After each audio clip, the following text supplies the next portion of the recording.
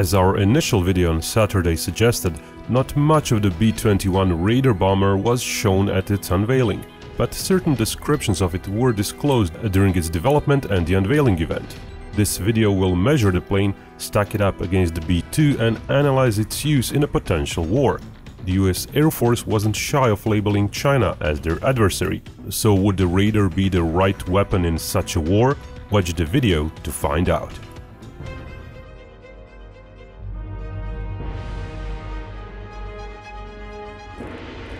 We'll get on with the new bomber soon enough, but allow us a bomb-like announcement coming from our friends over at Unity of Command 2.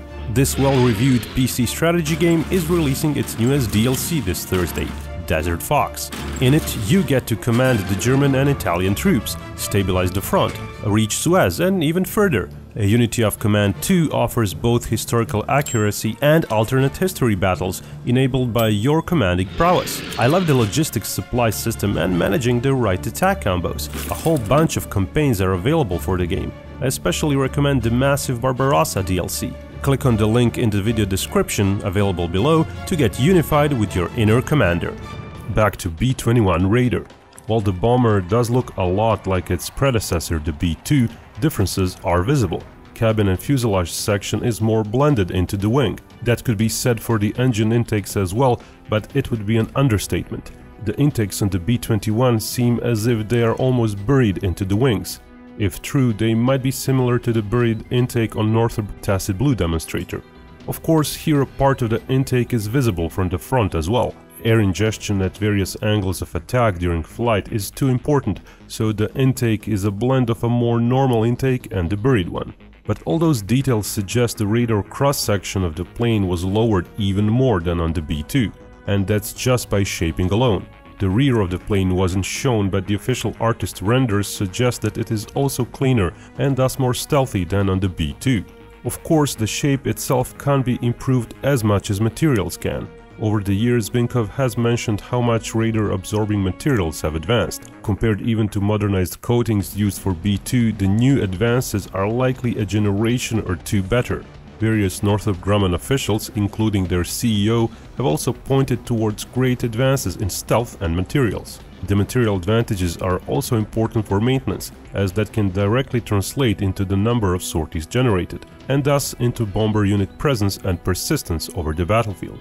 A US general described Raider as a high-cycle aircraft, while another Northrop Grumman official said the B-21 is designed to fly every day, as opposed to the B-2, which requires hundreds of man-hours of maintenance between missions, due to the needs of its old radar-absorbing material coatings and tapes. Of course, the exact radar cross-section will likely not be known for decades, if ever, but if it was lowered by an order of magnitude compared to what B2 can offer, we might be talking about radars not being able to detect the radar until well within the range of dropping a simple JDAM bomb, because even such bombs, when dropped from high altitude, can still cross over 18 miles. Mind you, that's range without any winged glider kit or propulsion. Indeed, US officials, including the Secretary of Defense, have not been shy of making similar though more vaguely worded points. Of course, that's just the current US opinion. No one can really predict how capable adversary radars will be in 20 years' time. Indeed, radars have evolved alongside stealth technology, rendering some of the earlier planes like the F-117 Nighthawk nearly useless, and prompted replacement and soon retirement of even the B-2. B-21 most likely has a whole host of sensors hidden under its advanced skin, something the technology of the day did not allow for B-2. US officials touted its multifunctionality as well. It may very well be it will have a limited ability to search for and designate targets for itself. So is the B-21 better in every regard than the B-2? Well, for one, it's smaller than the B-2, so in some ways it may not be quite as comparable.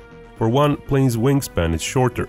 There are several ways to go about estimating the wingspan, but using every single one of these comparisons points to a similar figure using the height of people around it, using the width of the tug vehicle, using the standard width of concrete slabs on the airbase, and using the known width of the hangar door compared to the plane's wingspan.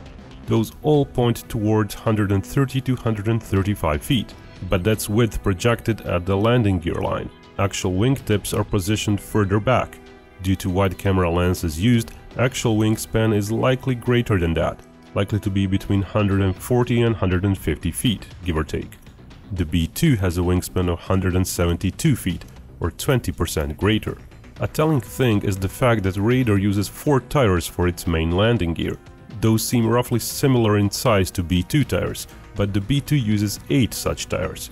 While not all planes exert exactly the same ground pressure, they can't veer too much off a baseline. So the B-21 is bound to have a lower max takeoff weight than the B-2. It doesn't have to be half its weight, but even using the B-1B's ground pressure, it may not go over 240,000 pounds. Given the smaller wingspan though, it is understandable weight would be lower. There are also other weight factors involved. Newer construction methods may have made the plane's structure lighter. The Raider most likely uses just two engines, compared to B-2's four. While it is not known for sure, the most rumored choice is the F-135 engine. The base engine is used on the F-35, but for the Raider it would be modified. For one, the Raider has no use for supersonic speeds. Its engine won't use an afterburner. Plus there were a number of advanced programs explored, making the F-135 engine even more fuel efficient the EATP program achieved a 25% fuel consumption reduction compared to the base F135 engine. If indeed the B21 engine can achieve 25% lower fuel consumption over a B2 engine, then the weight of the fuel carried would be lower, plus the weight of the plane would also be affected, as not as much structure would be needed to hold that extra fuel. Finally, the B21 being lighter needs less thrust, meaning less fuel consumed, though there are caveats as well, which are impossible to estimate.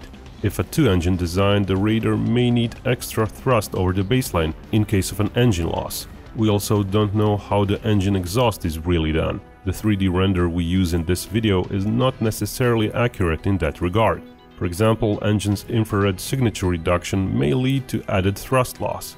One engine loss situation might be mitigated if both exhausts were joined centrally, but that too would involve thrust loss. So the additional 25% savings in fuel carried due to less thrust needed may not be fully realized.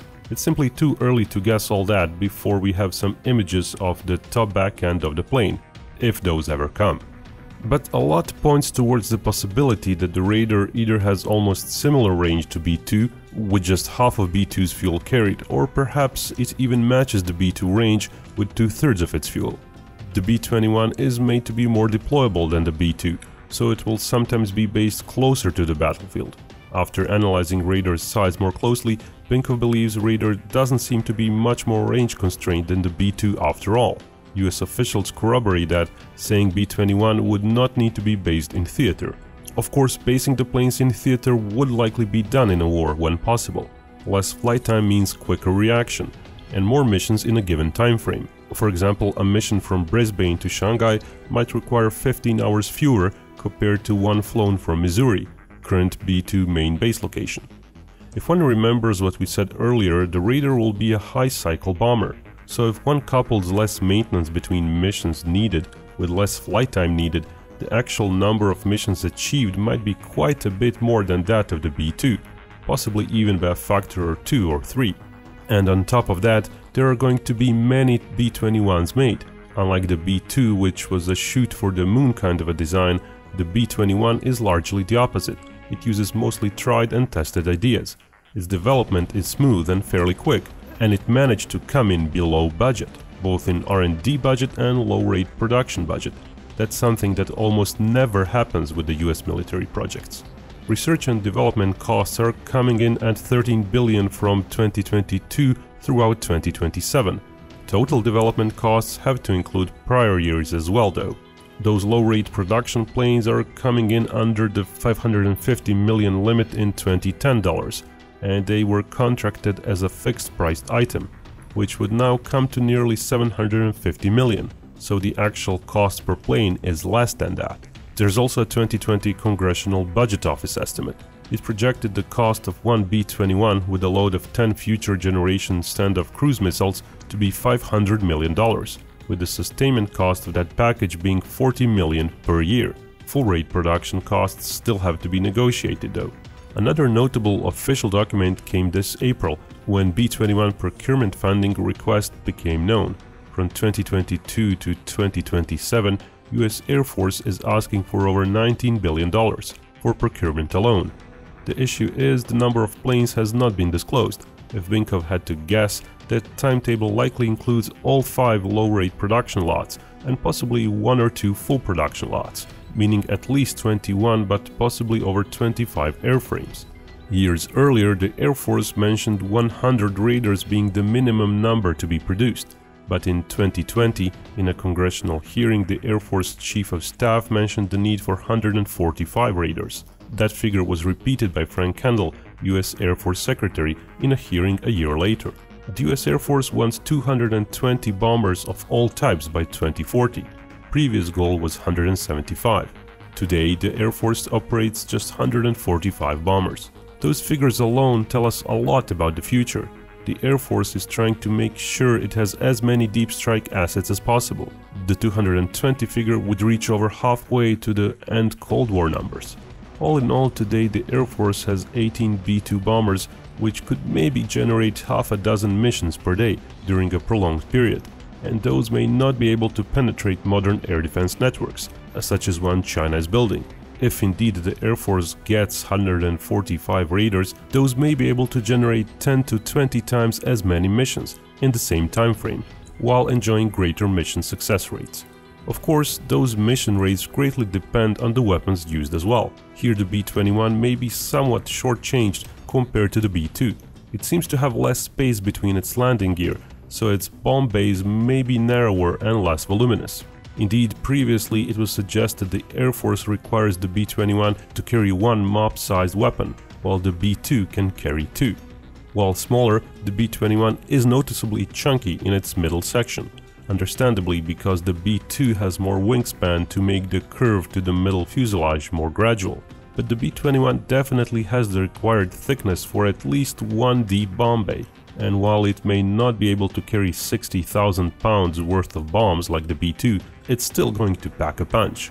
Of the weapons that it will likely use, we have to mention the future long-range standoff weapon that will replace the current nuclear-tipped cruise missiles. Once ready, around 2030, it will likely get integrated onto the B-21. There is also the Joint Air-to-Surface Standoff missile of the extended range variants. Those will also be part of its capability. ER variant is a proven weapon used for conventional tactical strikes. The XR model will offer an even longer range. But expensive high-tech missiles will also likely be integrated onto the Raider, like the Hypersonic Attack Cruise Missile, a scramjet power missile small enough to be carried by an F-15. But the B-21 would be able to carry many, many more in a single sortie. Even though the missile's range may not be significant, Raider's stealth will likely allow the plane to fly into enemy air defenses, for example reach the Chinese coastline, and fire the missiles from there, reaching various targets deeper within China. Yet another weapon that's possible for the Raider is the larger air-launched rapid response weapon. It has a hypersonic booster stage which then releases a glider warhead. It has already been tested on the B-52 which may be the main user of the missile, as the Raider is likely going to be more useful for doing penetrating strikes. Of course, various guided bombs are a given for the B-21 as well, just like with the B-2. Simple JDAMs or various winged variants, or new penetrator bombs like the GBU-72 that's in development. All those are actually crucial for the B-21, because using unpowered guided bombs is much, much more affordable than using cruise missiles. US has something like 70 times more guided bombs than cruise missiles. While other platforms can fire cruise missiles, only stealthy planes could really leverage masses of US guided weapons. Against an adversary the size of China, cruise missiles alone would barely make a dent. Raider's future is of course still up in the air, but it does seem quite likely it will become the main US strike asset, utilizing advanced weapons and threatening potential adversaries. Of course, depending on the development of enemy sensor tech and sheer number of sensors, even Raider's stealth may not be enough in the long run.